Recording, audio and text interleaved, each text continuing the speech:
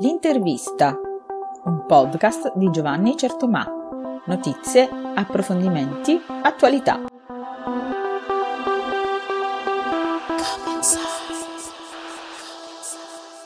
Un saluto e un abbraccio a tutti gli amici che ci seguono in podcast e in videocast. In questa puntata vi racconto la storia di un amico, quella di Carlo Iannuzzi. Ma partiamo proprio dall'inizio, da molto ma molto lontano. Lo facciamo questo racconto in una maniera diversa rispetto al solito. Carlo, innanzitutto ti ringrazio per la disponibilità a condividere con i nostri ascoltatori la tua storia personale che inizia quanti anni fa? Quando sei nato e dove? allora, io sono nato nel lontanissimo 8 settembre, che non è un caso ovviamente, perché l'8 settembre lo conosciamo tutti come data storica per il nostro paese, che io rivendico, l'8 settembre del lontanissimo 1986. Eh, sono nato qua in Calabria, a, a Locri, ed è inutile dirti, caro Giovanni, e tu sai benissimo il perché, che io sono assolutissimamente fiero e orgoglioso di far parte di questa realtà. E tra breve anche i tuoi amici e i tuoi ascoltatori capiranno il perché. Tu sei figlio unico?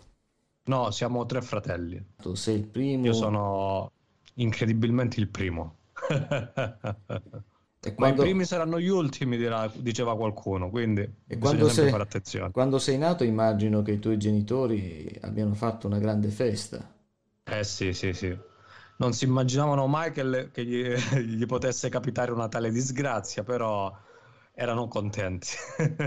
non ricordo, scusa, l'anno, perché adesso sono, mi sono distratto. 86, 86. 1986, l'anno eh sì. dei mondiali. C'erano i mondiali, mi ricordo. Eh. Non, non ho idea. Però sì, sì, sì, sì, l'86 sì. Erano i mondiali, se non ricordo male, Maradona fece quel famoso gol col braccio. Eh Io non ho parlato a caso di Argentina perché poi nella tua storia personale l'Argentina, eh, eh sì. l'Argentina ritornerà. Che infanzia è stata la tua? No, è stata un'infanzia molto, molto bella perché non mi è mai mancato nulla, né da parte di quell'angelo benedetto di mia madre da parte di mio padre che come sanno tutti ormai non c'è più e quindi sono assolutamente orgoglioso e riconoscente per tutto quello che ho avuto. Hai avuto le coccole dei nonni o non c'erano più? No, bravo, quello purtroppo mi è mancato perché sono arrivato forse troppo tardi o se ne sono andati troppo presto loro. Io tra l'altro ho avuto tua nonna, la tua nonna materna che eh è stata sì, bravo. la mia... Lei era veramente molto conosciuta qua a Roccella. La mia Tutti... maestra delle scuole elementari. Bravissimo, sì. E ti confido, caro Giovanni, che mia mamma, avendo questo legame molto forte con la buonanima di mia nonna, voleva a tutti i costi cosa? Una femmina ed è stata ricompensata con tre, con tre cinghiali, non con tre maschiacci. Eh, il, però, ca- il, caso. No, però oh. alt, eh, io là ti volevo, occhio al caso. Mia nonna, come dicevi poc'anzi tu, si chiamava Iole e allora il terzo figlio, siccome siamo Carlo, io, Davide il secondo e il terzo, si chiama esattamente come, come l'anagramma del nome Iole, ossia Elio. Dici tu è un caso, perché allora c'era nel lontano 92 Elio e le storie tese che andava alla grande. Mia mamma in realtà lo voleva chiamare Edoardo, però spinta da me e dall'altro mio fratello, alla fine ha scelto Elio, che è l'anagramma di Iole. Un caso, dici tu? Ci credo poco io. Senti, la tua infanzia l'hai trascorsa sempre a Roccella Ionica, sei stato? No, no, no, nella meravigliosa Roccella Ionica. Ge- nella splendida Roccella è diverso. E tra i momenti più, più, belli di quando eri bambino, cosa ricordi? Erano gli anni ancora in cui si giocava all'esterno, si correva? A voglia, sì. O no? Guarda, io proprio qua sotto, ce l'ho davanti agli occhi adesso, c'era la strada dell'ex comune, che tu conosci benissimo, dove era appuntamento fisso per tutti i miei, la mia compagnia fare la cosiddetta tedesca, cioè giocare a pallone in mezzo alla strada, 4-5 ragazzi che giocavamo e ci passavamo i pomeriggi interi. Allora che non era epoca di cellulari, di smartphone, di computer, erano altri tempi. Ma che bambino Mi stai facendo sentire veramente anziano. Ma che bambino, che bambino sei stato? Eri uno tranquillo? Assolutamente oppure no, ne, no. ne, combin- ne, combina- ne combinavi, ne combinavi? Bravissimo, sì, ne combinavo veramente tante io e la parola tranquillità non siamo mai andati d'accordissimo, devo essere onesto. Però, nonostante tutto, nonostante le mie infinite, passami il termine, cagate, cazzate, ho sempre avuto dalla mia parte mio, mio padre e mia madre che mi hanno sempre sostenuto e incitato ad andare avanti. Avevi una compagnia, immagino. Sì, come tutta Roccella, come tutti i paesini dove siamo cresciuti, diciamo. Qualcosa di quando andavi alla scuola elementare, cosa ti ricordi? Anche già da allora uscivo pazzo perché avevo proprio una qualità innata per la matematica e c'era la buonanima della maestra Valenti che usciva pazza per me perché anche lei capiva la mia passione che avevo per la matematica e da allora ho portato dietro di me, con me, quest, questa mia, questa mia, diciamo, passione, tanto da riuscirmi a farmi poi laureare in ingegneria informatica. Quindi scuola elementare sempre a Roccella Ionica, no? No, nella meravigliosa Roccella Ionica. Meravigliosa Roccella Ionica, splendida Roccella Ionica e poi anche le, la scuola media, no? Sì, sì, sì, sempre qua. E della scuola, scuola media me... ti, ti ricordi c'è stato qualche insegnante che per te rappresentato un punto di riferimento, ti ha, no, ti ha, ti ha no, sostenuto, ha tirato fuori ancora di più i tuoi talenti? No, onestamente, se posso e devo essere sincero, in scuola media mh, mm, non ho, diciamo, delle passioni che ho portato con me tanto quanto ho portato sia in scuola elementare, ma soprattutto, come arriveremo, alle superiori. Quindi non hai un, un bel ricordo della scuola media? Mm, niente che mi... Niente da segnalare. È il sorriso che mi preoccupa, professore. Niente da segnalare? Penso di no. Ma neanche tra i compagni, immagino di sì, avrai fatto nuove amicizie. Sì, certo, però mm, come tutto erano, diciamo, passeggere perché poi tre anni e andavi via. No, no, devo essere sincero, già alle superiori era diverso. Ecco, la, la, la scelta della, della, scuola superiore da che cosa è stata determinata? Da, da questa consapevolezza allora, della, sì. dell'amore per la matematica? No, in realtà devo, devo e voglio essere sincero con te, con tutte e tutti. Allora, all'epoca, avevo veramente, diciamo, la passione per lo studio non era tra le mie priorità e quindi realisticamente sapevo che se fossi andato allo scientifico o ad altre scuole superiori simili e mi fossi solo diplomato, non avrei avuto nulla per il mercato del lavoro al contrario di quello che ti poteva offrire invece una scuola come l'industriale. Industriale, che però, e qua un, si, si, aprirebbe un universo, non un mondo, aveva, perché Buonanima non c'è più nemmeno lui, la fortuna di avere uno dei migliori professori esistenti sul pianeta Terra, che era il professore Toto Simone. Professore di, sicuramente... di italiano. Italiano, sì. Lui che era veramente un pozzo di scienza e che ha pazzato veramente a determinate crape come erano eh, denominate la, a scuola, a tutti riusciva a passare, non dico l'amore perché forse è esagerato, ma quantomeno la passione dello studio. E anche la passione per la politica che ho trasmesso. Io. guarda, lui eh, ci teneva a dire che la politica e la scuola devono necessariamente viaggiare su binari paralleli e quindi distanti. Però te lo faceva capire che l'amore per la politica, per, la, per il bene comune, è un qualcosa su cui tutti quanti dovremmo spendere del tempo e lottare. Quindi, secondo me, anche il suo insegnamento cioè, è rimasto dentro di me. Ma lo hai avuto? E ne sono orgoglioso. Lo hai avuto per cinque anni o soltanto gli ultimi no, tre? No, in realtà per tre anni, perché il, l'industriale è composto da un biennio che è comune a tutti e poi da un triennio dove si sceglie la specializzazione più adeguata alle proprie passioni. E ti ripeto, è stato veramente un insegnante di vita, tanto che le semplici parole non sarebbero sufficienti a descriverlo adeguatamente. E al di là delle, dei momenti in classe, a scuola, istituzionali, eh, avevate con lui insomma un rapporto anche fuori dalla scuola? Organizzavate qualcosa? Mm, no, organizzare di organizzazione classica no, però lui era un frequentatore assiduo del cosiddetto albero della scienza e quindi in piazza, in piazza San Vittorio. Piazza San Vittorio, piazza centrale qua da noi della spettacolare Roccella e no, era veramente una gioia ogni qualvolta ci si incontrava e ci si vedeva per strada. E avete fatto qualche gita scolastica assieme? Vi ha accompagnato da qualche parte? No, con lui in realtà no, perché mh, la gita quella forte che è del quinto superiore l'abbiamo fatta con un altro professore, quindi lui non, non si prestava tanto a questo genere di iniziative. E nel momento in cui bisognava scegliere dal triennio in poi l'indirizzo, cosa, cosa hai scelto? Guarda, è, è, che con la... perché sono tre, mh, sono tre indirizzi che si possono scegliere qua all'industriale. La faccio rapida perché vorrei arrivare al punto della nostra discussione, perché già ti vedo che sei con No, no, ma io credo che sia molto interessante andare un po' a ricostruire la storia personale, perché poi nella, andando a ritroso si trovano, come dire, gli elementi base di quello che poi sarà sì, certo. quella persona nel futuro, no? Verissimo.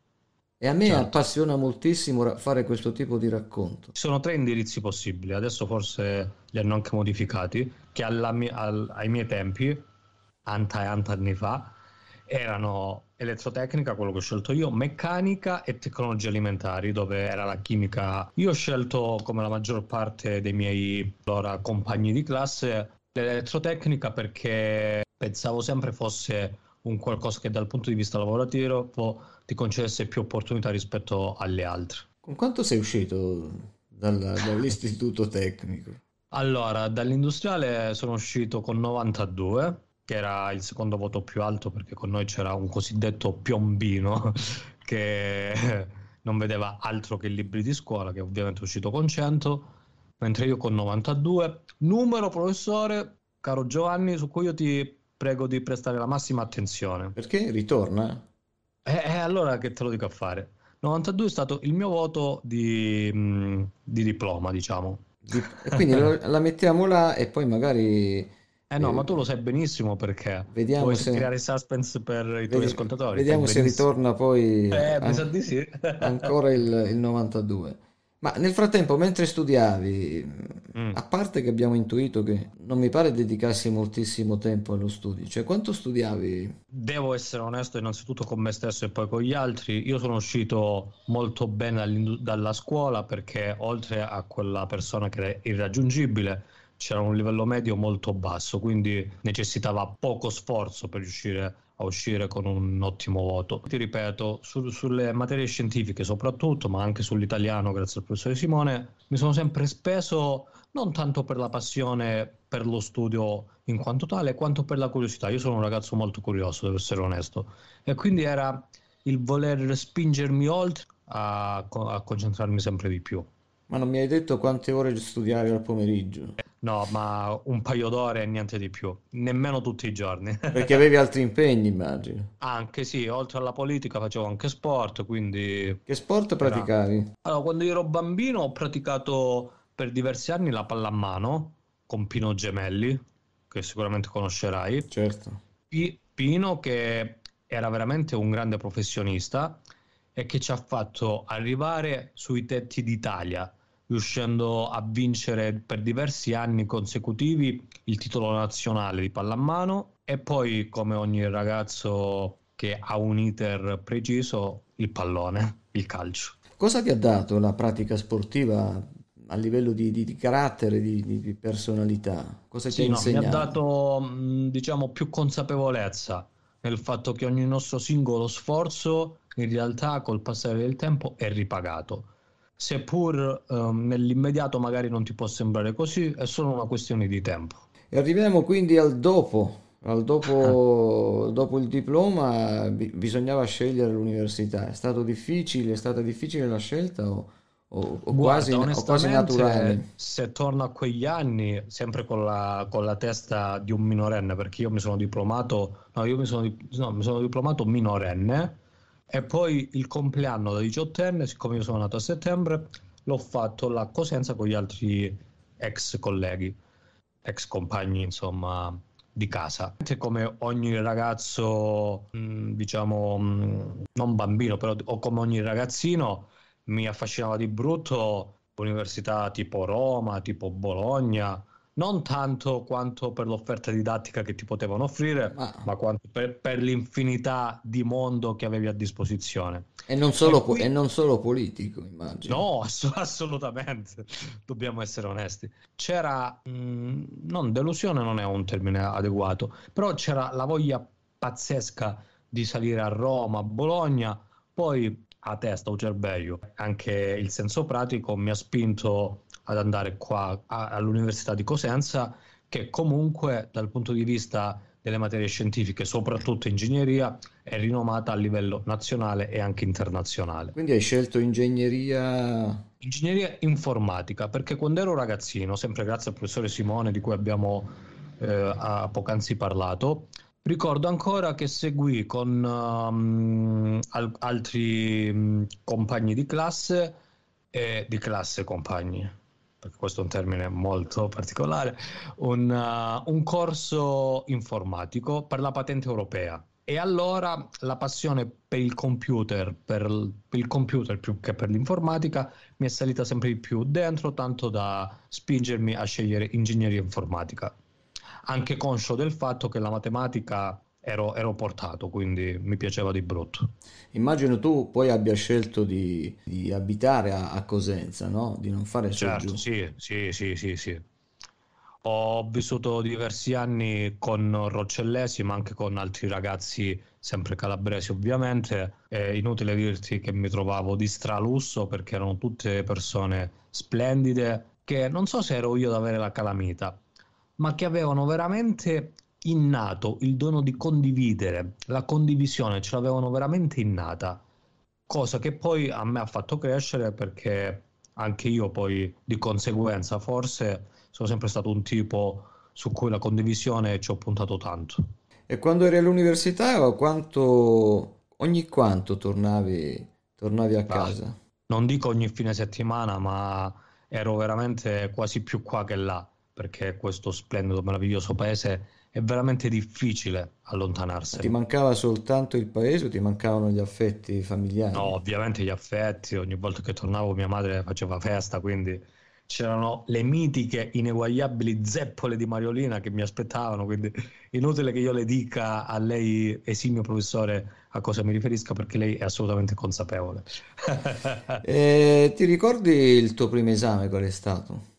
All'università? Allora, sì, onestamente sì. E devo dire, guarda, ho i brividi anche solo a ripensarci, che là ho percepito come io, come io probabilmente non mi potessi mai poi mai laureare. Perché immaginavo se tutti gli esami sono impossibili come questo, io qua non riuscirò mai a venirne fuori. Era l'esame di calcolo 1, derivate, integrali e quant'altro per me arabo, per me arabo. Lo era anche per me, però anche là è stato sufficiente un po' di impegno, un pochino di passione ed è andata via. E quanto hai preso in quell'esame? Una ventina, non tantissimo, però tra i primi esami c'era anche fondamenti di informatica che mi fece uscire con 29, non dico 30 perché il 30 è stato un voto che io ho preso quasi mai, ho preso a uno o due esami e quindi là ho capito veramente che l'informatica era qualcosa su cui puntare. Ma andavi alle lezioni ogni giorno oppure eh, studi? Sì, no, no, era quotidiana, la... le lezioni erano quotidiane, erano mattina e pomeriggio, erano tutti i giorni, tranne ovviamente il fine settimana. Quindi la frequenza era obbligatoria? Sì, no, no, in realtà no, perché c'erano alcuni corsi in cui ti chiedevano perfino la firma, però c'erano altri che non, non te la chiedevano però era una questione di intelligenza. Cioè, se tu già frequentavi tutte le lezioni, riuscivi a malapena con difficoltà a superare l'esame, se non le frequentavi era matematicamente... Ed eri, sei stato sempre in linea con, con gli esami o... Assolutamente no, assolutamente Quindi, no. famoso fu- fuori, co- fuori corso. Ma orgogliosamente fuori corso. Ma già dal primo, già dal primo anno? Perché tra le varie Ovvio, ovvio, fuori corso già prima che io mi iscrivessi. no, perché mh, mm, la cosa, se adesso io ti ringrazio perché mi stai, mi stai stimolando la memoria, perché ripensandoci bene, uno degli episodi più impattanti del mio essere là all'università è stata una mattina di primavera dove incontrai un grosso omone con le ciabatte che parlava esclusivamente e solamente in dialetto. E chi era? E quella, per- è quella persona che era il grandissimo Guerino Nisticò, figlio del compianto Franco Nisticò, colui che qua in Calabria si è opposto fino alla vita perché è morto indegnamente causa E poi la ne, follia. poi ne quel- parliamo più avanti. Esatto. E incontrai questo, questo personaggio di fatto che mi aprì le porte, per me assolutamente sconosciute, al collettivo politico universitario. E da lì, crescendo dentro di me una sempre maggiore consapevolezza sul darsi da fare per il bene comune, mi ha spinto praticamente a essere appunto fuori corso ancora prima di iniziare, perché fra iniziative politiche, fra impegni anche tramite il partito, perché nello stesso tempo ero segretario giovanile del Partito Comunista a Roccella, dove organizzammo niente poco di meno che il Festival Nazionale del- dei Giovani Comunisti, era veramente difficile stare dietro con gli esami. E in tutto questo i tuoi genitori, il tuo papà, la tua mamma, cosa ti dicevano? Eh, cioè, stai, per- no, stai perdendo a- avevano tempo. una pazienza infinita, vabbè, anche perché io comunque me la giocavo bene, Gio, nel senso che ovviamente incidevo sempre sulla difficoltà, però poi di fatto era più una questione di volontà più che di difficoltà sugli esami stessi. Però è anche vero, perché bisogna essere onesti, che poi con molta pazienza, ma alla fine ce l'abbiamo fatto. In quanti anni ti sei laureato? Indicibili. Per amore della, della vergogna preferisco non dirlo.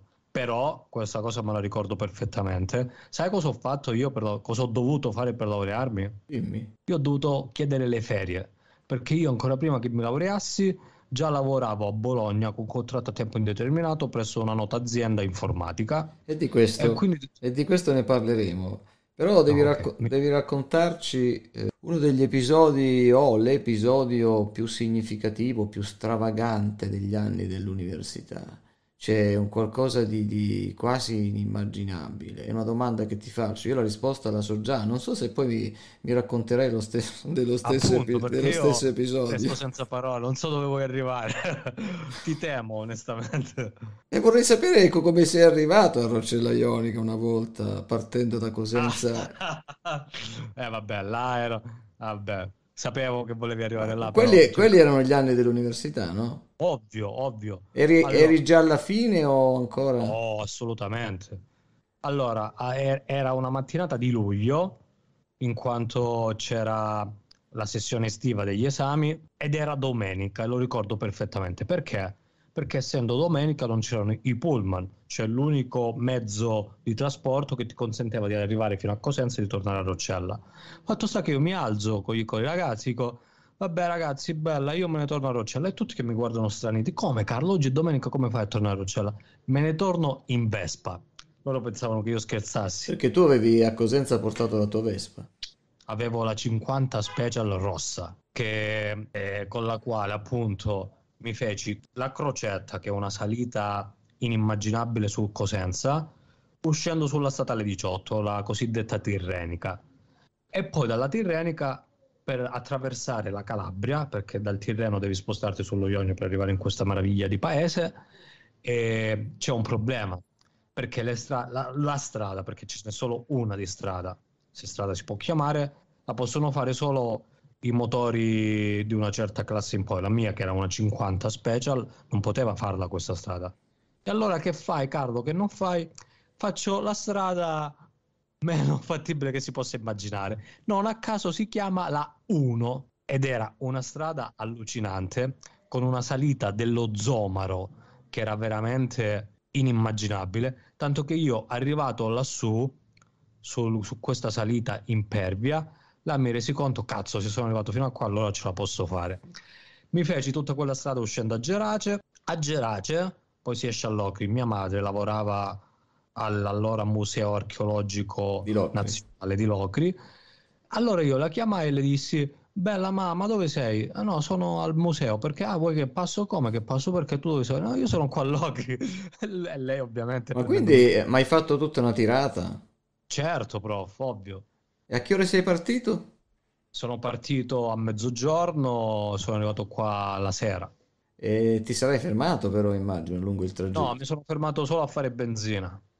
E quindi non hai mangiato nulla ti hai riportato qualcosa da... Ah, no, no, no, no, ti stavo dicendo una sciocchezza. Mi sono fermato in quel di, di Cleto, dove c'è un grandissimo amico, nonché compagno, che organizza ogni anno il Cleto Festival, uno festival spettacolare. In che in provincia si trova Cleto? Fermai là quando partì a San Lucido che avevo un amico e poi una tirata perché panino e via in mano perché erano, era veramente tanta la diffidenza sul fatto che io ci pot- ce la potessi fare che... All'ingresso di, di, di Roccella, una volta che sei arrivato all'ingresso, eh, è stata una bella soddisfazione. Mamma mia, io ancora ricordo che invece di Benvenuti a Roccella, comune gemellato con Arco, io leggevo Benvenuto Carlo, cioè è stata veramente una, una soddisfazione, veramente. Tanto che lo so che forse è, è, immaturo, ma io lo consiglierei a tutti di farlo. Perché veramente no. Hai fatto l'ingresso, che... diciamo così, quello ufficiale centrale, cioè hai fatto tutta la nazionale e poi sei arrivato fino in mm, piazza. Mm, gloriosi sei... Picatari. Sei salito dalla piazza? Sì, sì, ovvio, eh, me la dovevo gustare, se no, oddio, Prima mi sono fatto un giro sul lungomare perché... Di defaticamento, sua... diciamo. Bravo, Sua Maestà Mariglionio andava omaggiato e poi sono risalito verso i Picatari. E tua mamma, tuo papà, eh, come ti hanno ti hanno accolto quella sera? No, erano veramente tutti scettici perché tutto si potevano immaginare tranne che io avessi una testa tanto pazza. Però ancora non ho visto niente, non spoileriamo nulla. Non abbiamo, non abbiamo ancora parlato però dei tuoi fratelli. Eh. Eh, in, in, que, in, quegli anni del, dell'università, ecco. Vi consigliavate, vi confidavate? Che rapporto c'è stato con i tuoi fratelli? No, onestamente, ehm, diciamo che c'è sempre stato un rapporto molto presente perché una volta mi hanno visto anche sul TG3 quando venne Napolitano a fare un'inaugurazione nel mentre che venivano tagliati ogni qualsivoglia sostentamento all'istruzione pubblica. Quindi vedendomi in prima linea al telegiornale regionale o a tutte le corbellerie che, che, che provocavo il rapporto era sempre costante Prima hai parlato di una, di, di una figura, hai accennato una figura eh, che ha fatto qualcosa di importante per la Calabria. Mi piacerebbe ecco, che ne parlassi ne, nel dettaglio perché merita. Ed è, stiamo parlando del, di, Franco Nistico. No, Chi era? Non sto scherzando, ma mi hai fatto salire veramente i brividi perché io ogni qualvolta ascolto questo nome ho veramente i brividi, ragazzi. Questa, allora, ancora lo ricordo perfettamente. Stiamo parlando di più di dieci anni fa e io insieme a tutto il collettivo politico di cui facevo parte, di cui abbiamo poc'anzi parlato, andammo un giorno in quel di Reggio Calabria. Perché? Perché c'era organizzata una manifestazione a favore e a tutela delle piccole e grandi opere, se così le vogliamo chiamare, quali strade, ferrovie, infrastrutture basilari, che non sono nient'altro che ciò che è scontato nel resto del mondo, mentre qua in Calabria è utopia. E in questa stessa realtà, dove tutto questo è utopia, cosa volevano fare? Avevano la genialata di organizzare la follia del ponte sullo stretto, che proporla già è, una, è un'opera indicibile, ma proporla in una realtà come questa, eh, cioè sta all'intelligenza di ognuno di noi riuscire a capirlo, non è né più nemmeno che una cosa scontata. E Franco Nistico? Il grande Franco Nisticò. Allora, io ero sempre, come ti dicevo, con questo collettivo politico del quale Guerino era la figura paterna perché era il nostro uomo simbolo. Guerino è il figlio no, di Franco. Sì, Guerino è Franco. E io ero insieme a lui sotto al palco ad ascoltare ogni singolo intervento, ripeto, ribadisco, a favore delle infrastrutture pubbliche basilari, cazzo. Cioè, a me sembra indicibile che nel 2023 si parli ancora di questa roba qua. E, ehm, e allora tutti grandi, c'erano veramente un'infinità di associazioni, di attivisti, eccetera. E stava, si stavano susseguendo i vari interventi fino a quando toccò a chi?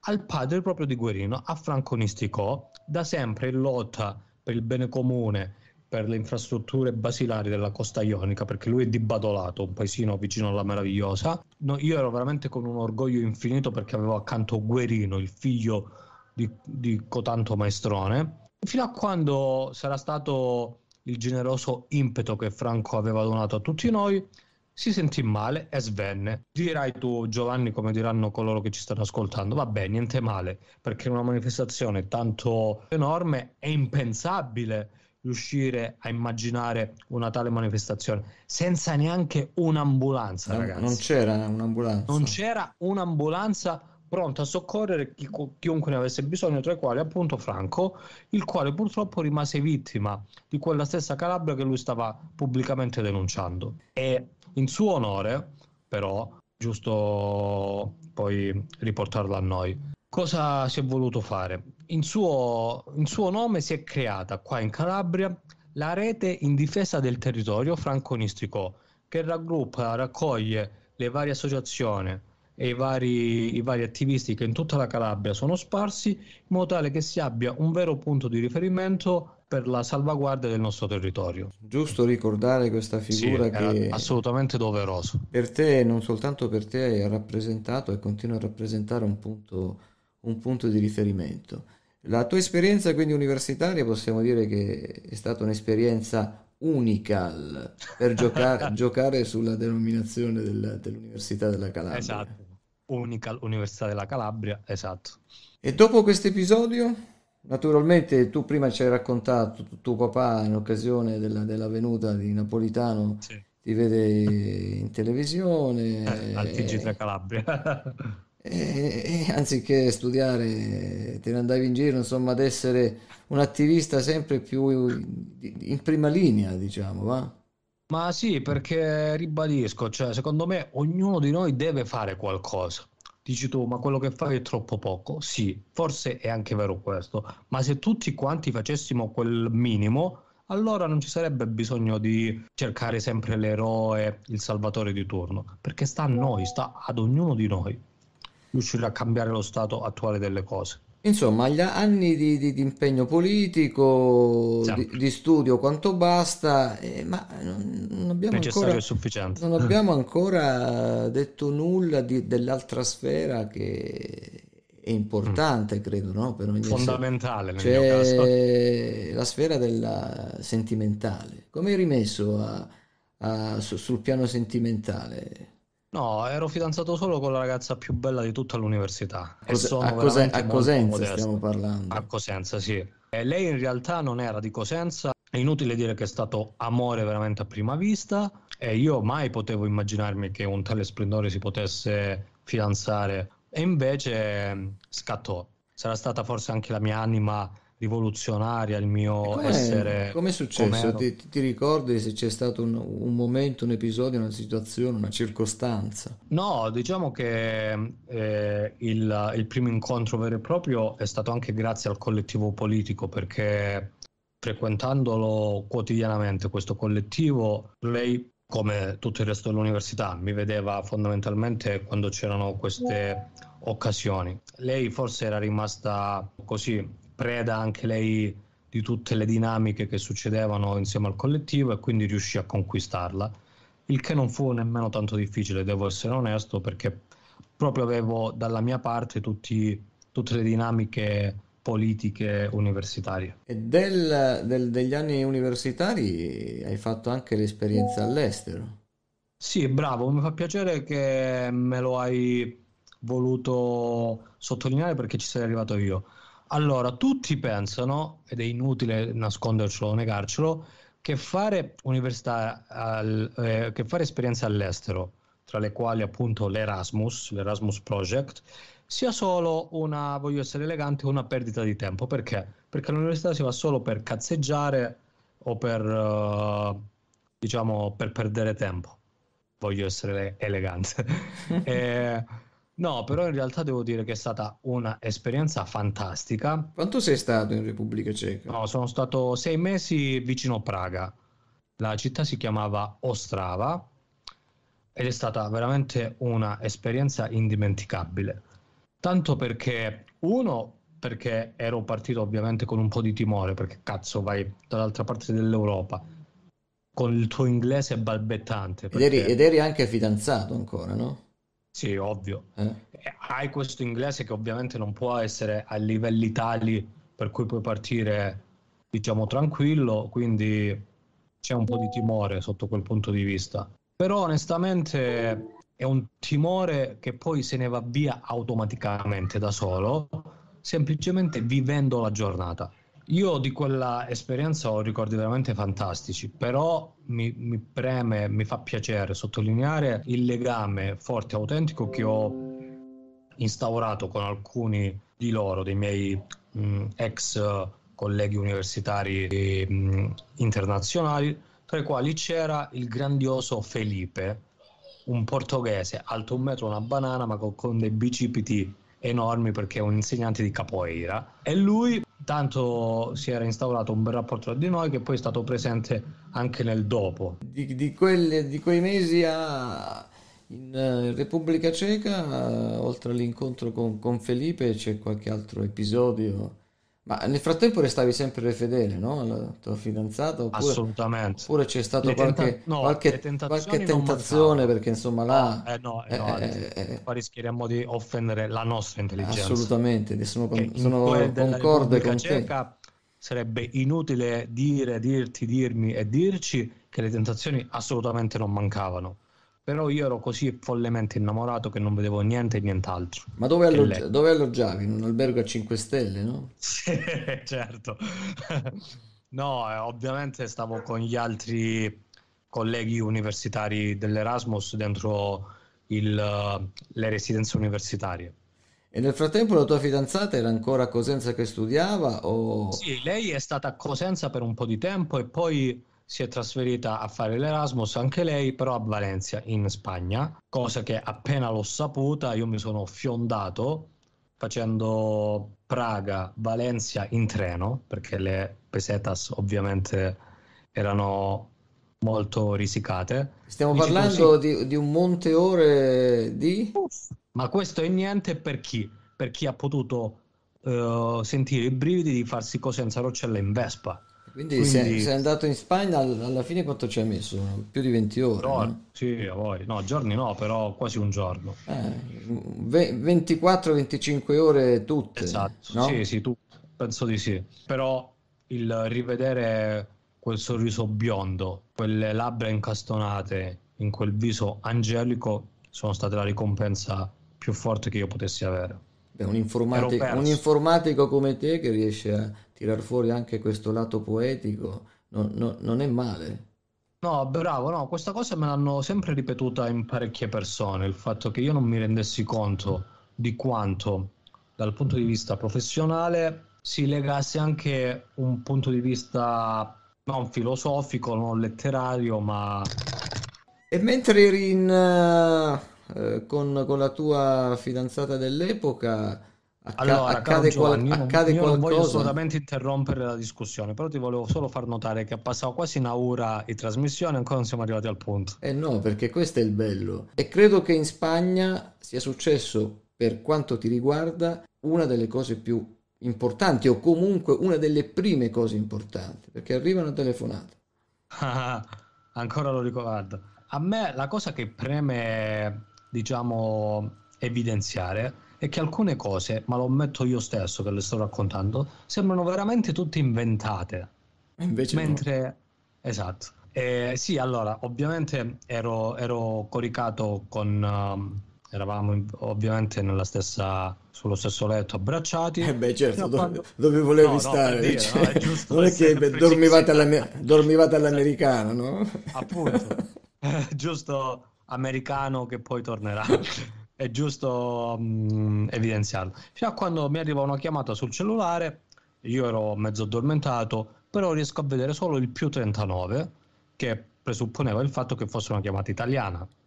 Allora io rispondo quasi infastidito, fino a quando sento dire, eh, sì, buongiorno, cercavamo il signor Iannuzzi Carlo per una proposta, eh sì, buongiorno, sono io, mi dica, perché altro non era che una chiamata da Roma, in quanto io allora con Michela, quasi per scherzo, devo essere onesto, avevo mandato curriculum a non finire, anche se con l'università ancora ne mancava un bel po', però ho detto io a me che mi costa li mando, fino a quando mi arrivò la chiamata di un'azienda eh, italiana che appunto mi voleva sottoporre a un test. Io ovviamente ero senza parole perché tutto mi potevo aspettare da una chiamata del genere e quindi prendo l'aereo e torno subito in Italia. In Italia chiamo mia madre e gli faccio ma ho due notizie, una positiva e una negativa. E lei, oh figlio mio, non cambi mai, dammi quella mm, negativa prima. La negativa è che torno in Italia. E questa sarebbe la negativa, Carlo. Cacchio, non, non posso immaginare quale sarebbe la positiva. La positiva è che ho trovato lavoro e domani salgo a Bologna perché era la, era la sede che avevo scelto. A Bologna mi trovo strabene perché è veramente una città a misura d'uomo. Io sono rimasto veramente stupito perché ad una città ovviamente enorme perché è una delle città più grandi d'Italia si potesse associare una dimensione veramente umana. Qualcuno, un grande fra di noi diceva restiamo umani. Secondo me a Bologna si è, vera- si è veramente... E dove, dove vai ad abitare? Allora, quando vado il primo anno vado con altri studentelli così molto anarchici e andiamo in un, in un appartamento condiviso e poi appunto torno in Calabria, mi laureo e ritorno a Bologna. Cerco di stringere il professore perché sennò lei lo so che ama questi momenti così lenti, però io ho impellenza di voler arrivare al dunque. Mi adeguo. E... Ok, se la cosa non la disturba, è egregio professore. Mi adeguo, mi adeguo. e allora la Bologna, dopo essermi laureato e dopo aver preso casa, eh, mi salgo tramite il papà di un amico che era camionista, mi salgo la 50 Special rossa. La famosa, quella del viaggio Cosenza. Quella del viaggio, esattamente. E però lì ho commesso la cazzata più enorme che io potessi mai commettere, perché a Bologna le vespe sono un attimo. Solo le vespe. Tanto che io, nonostante l'avessi sotto casa, l'avessi parcheggiata proprio sotto la finestra della mia stanza, una notte, via. Sparita. Un pezzo di cuore mi hanno fottuto quella notte, sì sì, lo confermo. E dopo il furto del, del, della, della Vespa, immagino fossi un po' arrabbiato, no?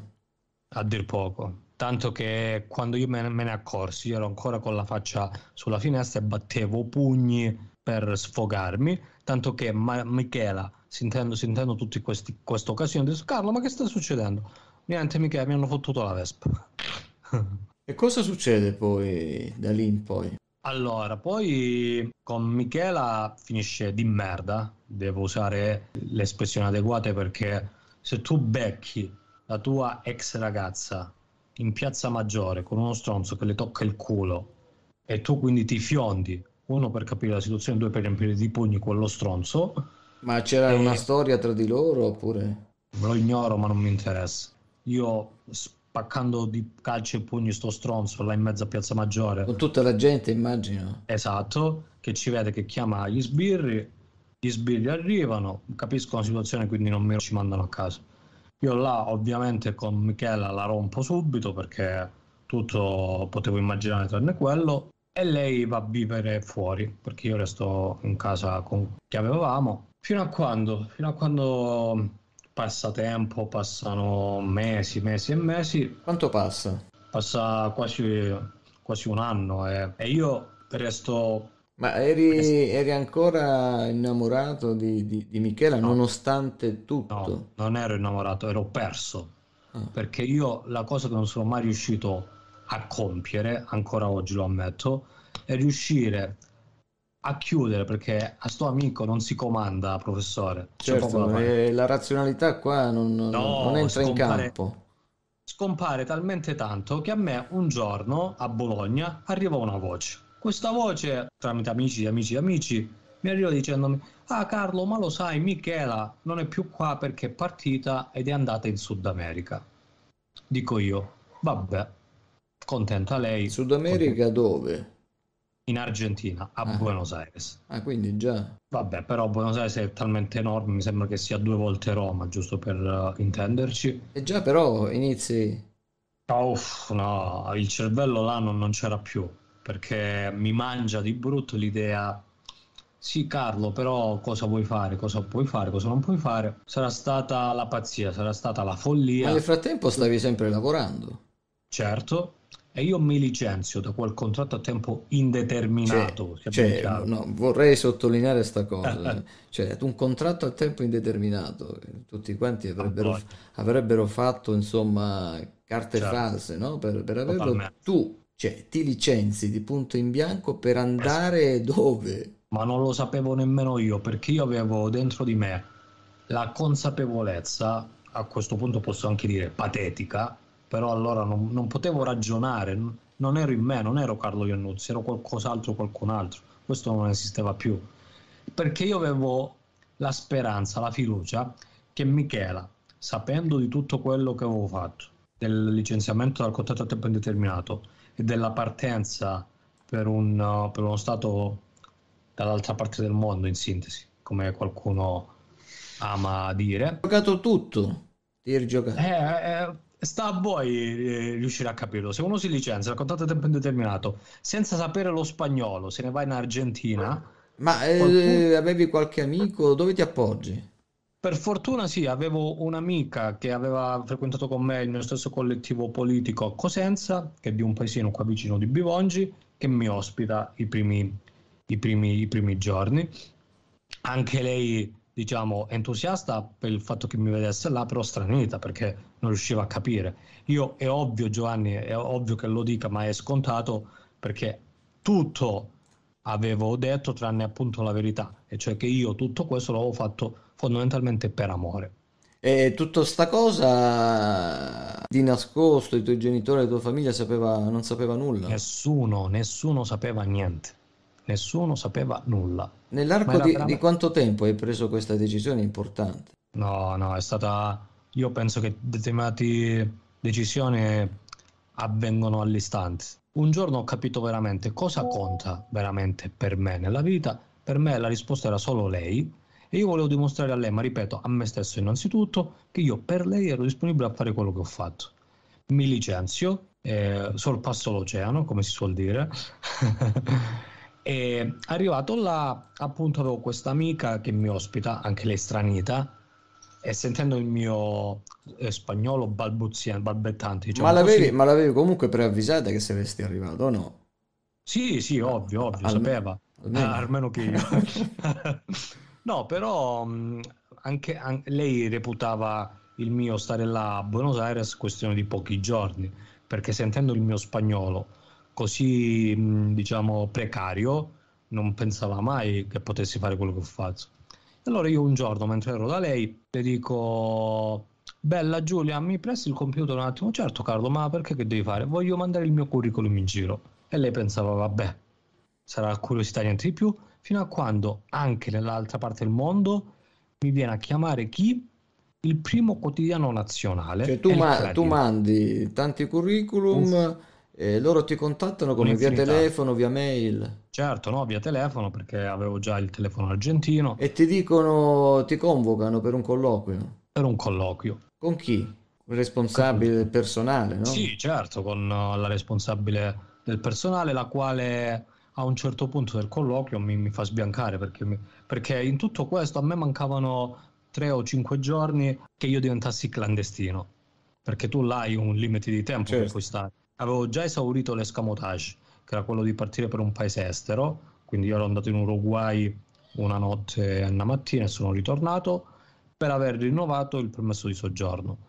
Fatto sta che io, quando ero a sto colloquio, mi sento sta responsabile mi dice bene signor Iannuzzi, il suo colloquio è andato veramente bene, bla bla bla bla, bla te la faccio molto breve, però le devo dire che i miei superiori che hanno visto il suo curriculum e c'è un problema. Io dicevo, porca puttana, ma questi ci hanno ripensato. Che problema c'è? Lei, lei, mi fa, vede signor Iannuzzi, lei non va bene qua, perché i miei superiori che hanno visto il suo curriculum hanno deciso che lei deve andare nei piani più alti. Dirò, no ragazzi, sto sognando qua. E questo primo... al primo colloquio? È il primo quotidiano nazionale che mi dice una cosa del genere. Porca puttana, no, sto sognando. Una valutazione sulla base delle tue competenze. Sì, è della mia esperienza. Certo. Forse anche loro diciamo, mh, esterrefatte dal fatto che io mi fossi laureato ancora prima, che io avessi iniziato a lavorare ancora prima di laurearmi, che mi fossi laureato in Italia e che poi fossi in Argentina per tutto quanto erano rimasti... Tu, t- tanto per dare un'idea delle, delle tue competenze, tu eri a conosce- conoscevi diversi linguaggi informatici. Sì, sì, sì, sì, il C++, il Python, il Basic. Cioè, co- conosci, non conoscevi? No, no, conoscevo perché oggi riuscire a lavorare come lavoravo allora è improponibile, però qualcosina. E ti ricordi il giorno in cui hai firmato il contratto? No, tu e la selezionatrice ed era niente più di meno che il giorno del mio compleanno, l'8 settembre, e mi fa firmare questo contratto a tempo indeterminato anche in Argentina. E di cosa ti occupavi là? Mi occupavo della programmazione dei sistemi informatici e informativi del giornale, di tutti i processi di background del giornale in pratica. E Clarin è il primo quotidiano nazionale, insomma corrispondente del sì, nostro Corriere della Sera. Corriere della Sera in pratica, per farci un'idea. Per rendere... E qual è stata la prima riunione a cui hai partecipato? Cioè hai conosciuto il capo dei capi qua del, eh, del, beh, è stata del, splendida là. Del giornale. Perché... mi fa piacere sempre che me l'abbia fatto puntualizzato perché mi sarebbe piaciuto anche a me stesso tornare su questo episodio allora, io invito tutti quanti un attimo a cercare di estraniarsi da dove sono, con chi sono e a provare a immedesimarmi in me. Allora, siete ognuno di voi nel primo quotidiano nazionale e c'è una riunione di redazione quindi con infinite persone sedute ognuno nei tavoli, tutti religiosi silenzi perché c'è il capo dei capi.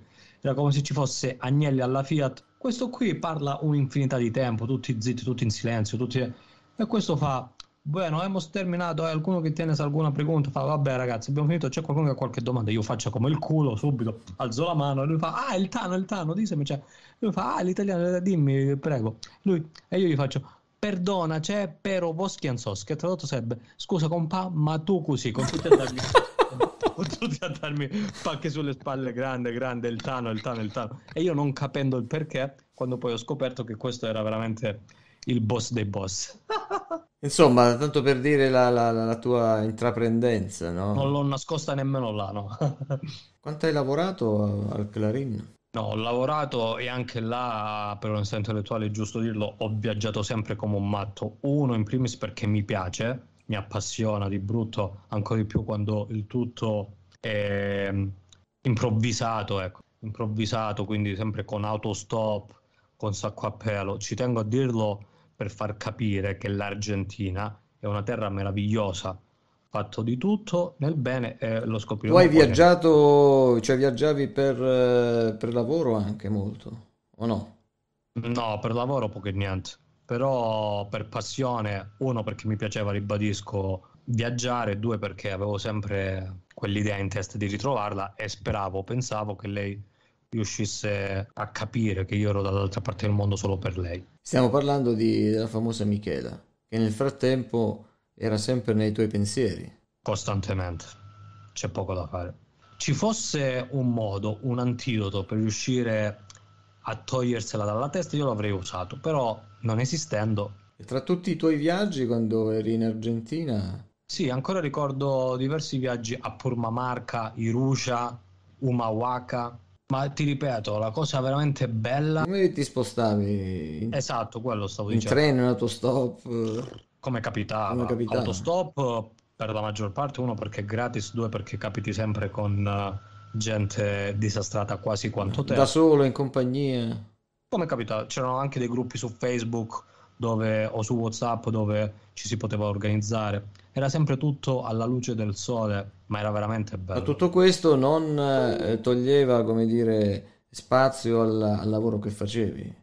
Eri, no, no, eri no, sempre, quello... più, sempre, più, apprezzato no? dal, dal, giornale. Sì, sì, sì. Ripeto, con mia enorme sorpresa, perché io pensavo che un extracomunitario, diciamola così, dall'altra parte del mondo, come purtroppo anche qua succede spesso, non fosse visto di buon occhio.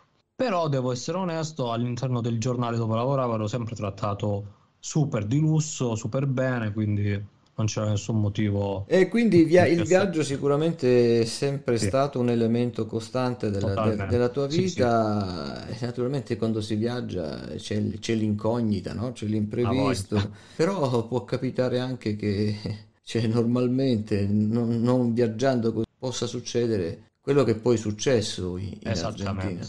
Io ancora mm, ho dei brevi flash. Io, come sanno anche le pietre in questo fantastico paese, appunto una notte a Buenos Aires, causa aggressione, causa rapina, vengo assaltato dietro le spalle e vengo mandato in coma. Era l'anno? Oh, 2015. Ora dice uno, va bene, va in coma, però sei comunque in un ospedale perché devo essere onesto, devo la vita ad un tassista che mi ha visto sanguinante in mezzo alla strada, non si è fermato perché non si fermava nessuno, nonostante fossero decine e decine le macchine che mi avevano visto, per, per paura, perché là anche gli abitanti stessi hanno una, fo- una paura fottuta. Tutto questo è successo parlo... sotto casa tua o vicino casa tua? Vicino, non sotto, vicino. Perché là, ti ripeto, ci sono strade enormi, quindi ogni quartiere di Buenos Aires è grande quanto la meravigliosa Roccella, giusto per farci un'idea. Alla fine eh, sono ancora vivo e vengo subito d'urgenza mandato in ospedale. In ospedale capiscono pure là la situazione che era a dir poco critica, era tragica e qua viene fuori cerco di trovare le parole eleganti, ma non, non, vengono fuori perché qua viene fuori veramente il peggio che una società democratica possa offrire. Perché nonostante io fossi nonostante io avessi un lavoro a tempo indeterminato nel primo quotidiano nazionale del paese, ma io ovviamente non, um, non avevo un'assicurazione sanitaria perché quando mai vai a pensare a una cosa del genere, causa intervento che mi, che, a quale dovevo essere sottoposto, chiedevano niente, una sciocchezza. Chiedevano solo 100.000 euro, quasi 100.000 euro. Prima di operarti o dopo l'operazione? No, loro volevano assolutamente i soldi prima perché se non avessero avuto la certezza che loro riuscivano ad avere quei soldi non mi avrebbero mai operato. Che questo penso vada anche in contraddizione con lo spirito stesso della medicina. Certo. Cioè un medico al quale viene sottoposto questo dilemma è veramente tutto tranne che un medico. Quindi io in coma vengo aiutato, aiutato è decisamente riduttivo, dall'allora ambasciatore che è Gianluca Guerriero, al quale io devo solo la vita, perché lui, appena si sono reso conto che ero un italiano, ha messo di suo pugno la sua firma affinché i soldi fossero stati inviati da parte sua qualora io non li avessi avuti nel Insomma, proseguo. Garanzia. Certo, sì, perché ovviamente l'ospedale lo richiedeva. E ti operano.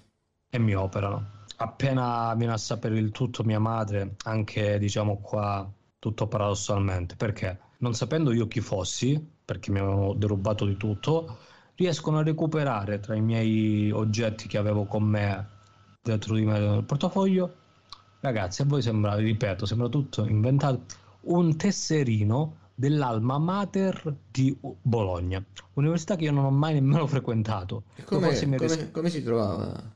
Perché io forse, riandando indietro nei pensieri, mi ero, eh, era stata la, la fase della mia vita in cui volevo provare a fare anche la magistrale all'università e quindi probabilmente mi ero iscritto e non so per quale arcano motivo c'era dentro di me con me quel tesserino e tramite questo tesserino mi riescono a contattare su Facebook e contattano mia cugina che vive a Milano, la quale contatta immediatamente mia madre che per la prima volta in vita sua si era concessa una vacanza.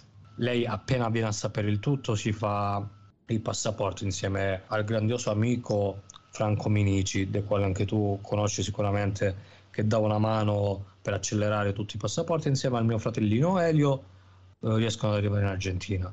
Mia madre è rimasta veramente scioccata nel vedere quante persone ripetutamente venivano a farmi visita, persone che nemmeno io conoscevo, ma che erano venute a sapere dell'accaduto tramite i social. Mia, mia madre le dicono di tutto di più, dicono signora è un miracolo che su- i medici, signora è un miracolo che suo figlio sia ancora vivo e l'avvisiamo da adesso, se e le ripetiamo se in maniera molto elegante. Perché... Ancora, ancora stiamo parlando in condizioni... No, ero, ero sommerso dai macchinari perché io a malapena respiravo nelle prime fasi del coma e mia madre vedendomi in quelle situazioni disgraziate insomma non si sapeva se se sopravvivevo in pratica dobbiamo essere onesti vedendomi veramente in quelle condizioni mh, mm, tragiche tutto si poteva immaginare quello che poi effettivamente è successo che cosa successe che io un giorno riesco ad aprire gli occhi appena apro gli occhi mia madre caccia Do- dopo, dopo quanto tempo? Dopo diverso tempo.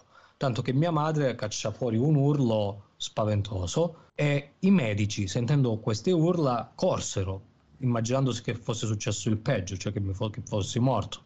E tutti, i medici in primis, stentavano a credere a quello che stavano vedendo con i propri occhi. Io ero vivo e parlavo, muovevo ovviamente in maniera molto precaria gli arti, il sinistro in pratica zero. Anzi, la mia grande fortuna è stata che tutte le pressioni che mi venivano fatte venivano fatte sulla parte destra del corpo, perché io a sinistra ce l'avevo praticamente praticamente morta. Non rispondeva non, agli Non rispondeva per nulla, per nulla. E mia madre ancora, ancora oggi mi ripete che era, era, veramente sorpresa da quante persone in continuazione mi venivano a far visita. E di quello stato, Però... di, quello stato di coma, adesso magari ti faccio una domanda, ti ricordi qualcosa? Un'immagine? C'è veramente un, un episodio del quale io stento a crederci, perché tutti mi dicono che è fisicamente impossibile che una persona possa ricordare qualcosa del periodo in cui è in coma. Ecco perché ti... Esatto. Però questo. io ci tengo a fare questa precisazione perché? Perché io da perfetto convinto comunista, del quale ero e del quale ancora oggi mi sento di essere, ho fatto un sogno, un sogno, un'apparizione, ognuno la chiama come vuole. Ero qua nella spettacolare ed ero diciamo a mare e chi mi viene in visione? Padre Pio, il quale mi fa... Eh, pare- parentesi, il mm. tuo rapporto con la fede qual era? Praticamente nullo, anzi, io ero veramente molto restio nei confronti di chiunque frequentasse gli ambienti cattolici proprio perché ritenevo, li ritenevo solo come uno strumento del potere, del potere in quanto Chiesa. Quindi eri sulla spiaggia e ti viene incontro. Mi viene incontro Padre Pio. Appena lo vedo quasi lo inizio a prendere a male parole. Gli inizio a dire Padre Pio, stai aspettando, non vi, non vi, eh, parlandogli anche in dialetto. Vedi di salvarmi, vedi di, di, fare qualcosa, te ne stai sbattendo le palle mentre io qua sto per morire. E lui che mi diceva, Carlo, tu, con una veramente calma allucinante, diceva, Carlo, tu devi stare tranquillo perché i tuoi amici di questo fantastico, meraviglioso paese stanno facendo tutto e tu qua tornerai. E sto sentendo anche di sottofondo, non li avevi preparati questi no, no. Fu- fuochi no, d'artificio? Ammetto che non li ho fatti io, mi sarebbe piaciuto ma non li ho preparati io. E dopo questa, questo sogno, questa, questa apparizione, chiamiamola come vuoi tu, ti svegli, quanto passa? Cosa ti hanno detto? No, là erano tutti veramente attoniti perché ognuno di loro si aspettava che io potessi, diciamo, far fugliare qualcosa, ma nessuno mai poteva immaginare che io potessi ancora avere il dono della parola dentro di me. E io appena sveglio guardo mia madre che era a conoscenza del fatto che io a malapena la potevo riconoscere, guardandola stranito faccio "Oh ma e tu che fai? Canta all'Argentina?" "Oh mamma, e tu cosa fai qua in Argentina?" E lei scoppiò quasi in lacrime all'ascolto di queste parole. Quanto resti in ospedale in Argentina? Eh no, in ospedale resto ancora diverso tempo perché c'erano ancora da perfezionare i pagamenti. Perché, nonostante i miei amici della meravigliosa Roccella avessero accolto tutti i soldi necessari, nonostante li avessero inviati tramite la posta, mi sembra, avevano fatto dei problemi alla, alla ricezione di questi soldi tanto che la meravigliosa Roccella ha manifestato il proprio splendore anche attraverso un amico che ho a Londra, roccellese, eh, Matteo, il quale eh, lavora anche lui all'interno di queste organizzazioni e si mette lui in prima persona per far sì che questi soldi vengano sbloccati e alla fine riescono a farli arrivare. Quello che ti era successo, non lo so, te lo chiedo, eh, i mezzi di comunicazione ne hanno dato notizia. Beh, cioè, onestamente questa, tu, questa cosa tutto, qua... tutto questo, la famosa Michela era venuta a saperlo? Sì, no, onestamente Michela lo venne a sapere ovviamente perché ne parlavano anche i sassi di tutto quello che era successo e devo e voglio essere onesto, anche a distanza si è prodigata affinché io mi svegliassi, inviandomi ad esempio le poesie che ci mandavamo quando stavamo insieme, eccetera, eccetera. E qualche altra persona che durante quel soggiorno forzato in ospedale. Ah, eh beh, e qua mi tocca, la ringrazio di nuovo professore perché ogni cosa che io potessi dire per ringraziare tutto ciò che l'esimio professore Francesco Vigliarolo, docente universitario a Buenos Aires, che però è originario di questo fantastico paese, il quale anche lui appena lui fu in assoluto la prima persona in assoluto di questo pianeta che mi vide quando ero in coma e chiamò quasi piangendo, se non proprio piangendo di rotto, suo cugino, che è stato uno di quelli che mi ha salvato la vita, dicendo che io in pratica ero più morto che vivo, che difficilmente ce l'avrei fatta, però eh, facendo di tutto affinché i miei potessero avere tutto il sostegno necessario e lui, nonostante le condizioni pessime in cui stavo, si è prodigato al massimo sarebbe decisamente riduttivo. Voi provate a immaginare il massimo. Lui è andato ben oltre, riuscendo a far sì che io oggi possa essere qua. Sei rientrato in Italia quando? Dopo quanto tempo?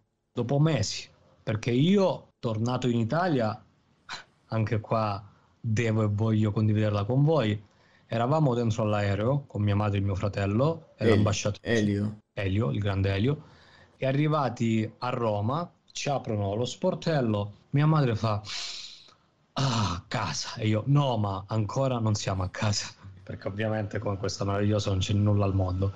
E lei no, Carlo, perché era veramente vedi Giovanni, noi non riusciamo a comprendere l'enorme indicibile fortuna dalla quale siamo assediati perché io la cosa che mi piacerebbe far capire anche attraverso la discussione che stiamo facendo è che noi siamo veramente inondati alla fortuna.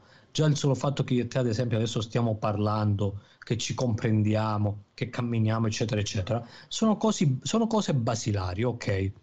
Ma sono. Per, e, e, e, tutti noi pensiamo che per noi sono scontate. Cioè, chiunque può, può venire a dire, Carlo, ma che stai dicendo? È ovvio che è scontato, è scontato, scusate il termine, il cazzo, perché per noi è scontato, noi che abbiamo questa incredibile fortuna, provate a dirlo. Quando, qualche... quando, quando tutto va bene è facile dire così, ma quando eh, chi come te ci ha parlato con la morte e allora ogni giorno che ti svegli e guardi fuori dalla finestra, altro che fortuna, di più. Zio, no? io non ho aggettivi per riuscire a, a condividere con voi l'incredibile, ineguagliabile fortuna che noi oggi abbiamo nell'essere qua così e nel poter giorno dopo giorno migliorare. Perché la mia guerra non è finita, professore. Perché naturalmente noi oggi ti vediamo, sono eh, felicissimo. Troppo gentile. Veramente pimpante e non, non te lo dico tanto per dire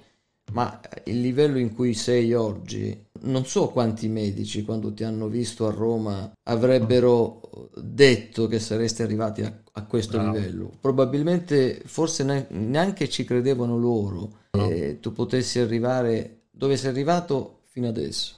A livello di recupero. Sì, sì, eh, io sono sempre consapevole comunque che il recupero onestamente non finirà mai, perché ognuno di noi ha sempre qualcosa su cui deve lavorare qua ci sono dei professionisti inimmaginabili. Ovviamente io non li potrò citare tutti, anche perché non li conosco, ma quelli che hanno avuto a fare con me sono stati innanzitutto, e questo me lo sono voluto assolutamente scrivere perché il dottor Gianluca Muscolo è stato non eccezionale, professore Certomà, è stato molto molto di più. E purtroppo ho avuto la sfortuna di non poterlo seguire durante il mio percorso di recupero perché è stato veramente ineguagliabile all'inizio del mio percorso. E tutto quello che lui ha fatto per me l'ho voluto fare gratuitamente perché amici.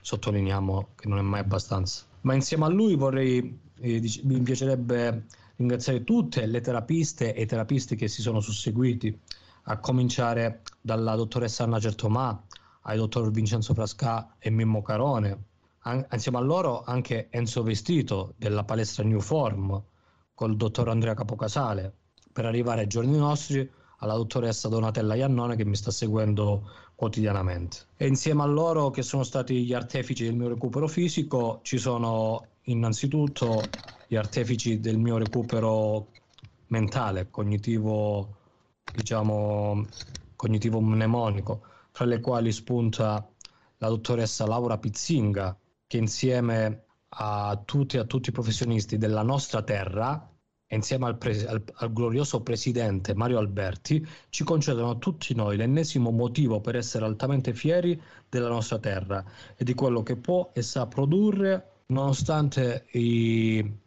ripetuti e le um, palesi difficoltà che si hanno nel lavorare qua. E poi l'ho già fatto prima, però Giovanni concedimi il disturbo che ti arreco rubandoti altro tempo. Mi vorrei scusare enormemente col professore Francesco Vigliarolo perché qualsiasi cosa io possa dire per tentare di ringraziarlo sarebbe eccessivamente riduttiva. E io ringrazio te Carlo, eh, innanzitutto perché hai voluto e hai accettato il mio invito a condividere la tua Onorato. storia e l'abbiamo raccontata partendo proprio dalla, eh dalla sì. tua nascita perché il mio obiettivo era proprio quello di ricostruire eh, la, la, figura, la personalità di Carlo Iannuzzi e non di raccontare soltanto quell'episodio, quella tragedia che c'è stata, eh, ma è un, un, pezzo, un pezzo della tua vita e, e nella tragedia e dalla tragedia eh, tu ci dimostri quotidianamente come si possa venire fuori eh, con grande tenacia e anche ottimismo guardando, guardando, al, fu- guardando al, è, futuro. È, è quello di cui non mi stancherò mai di ripetermi e di ripetervi. Ragazzi, per favore, a, raggiungete la giusta consapevolezza nel capire quanto cazzo siamo fortunati siamo inondati dalla fortuna ma non lo sappiamo perché perdiamo tempo a cercare il nulla senza avere la consapevolezza che abbiamo già tutto. Non aggiungo altro se non i saluti ai nostri ascoltatori. Grazie ancora Giovanni, troppo gentile. Un abbraccione, ti aspetto nella splendida. L'intervista, un podcast di Giovanni Certomà. L'approfondimento dell'attualità.